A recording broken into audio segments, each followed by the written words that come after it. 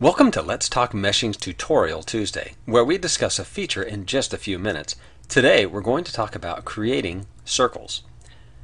Now there are two ways to open the Draw Circle tab. The first is to use the menu, Create, Draw Curves, Circle. Notice the fourth tab that says Draw Circle. The second way is to use the toolbar shortcut. Click on the down arrow, select Circle, and once again we see the fourth tab that says Draw Circle. There are four options for creating circular segments.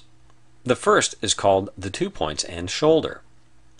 This option starts by picking two anchor points.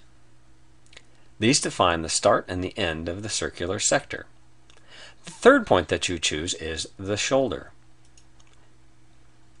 Note that I can drag this point around. I can also drag the start and the ending points around.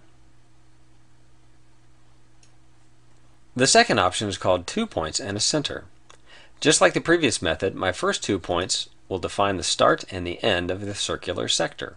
However, this time, the third point represents the center of the circle. Once again, note that I can move these points around.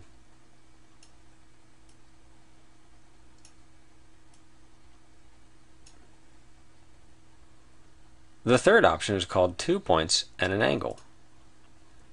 Again, here are my first two points define the start and the ending points of the circular sector. However, I won't choose another point. Instead, I will type in an angle that defines the sector angle of the circle. For example, let's try 90 degrees.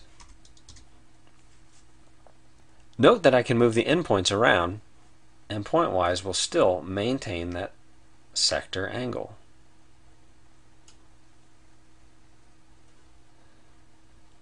The last option here is called Point, Center, and Angle.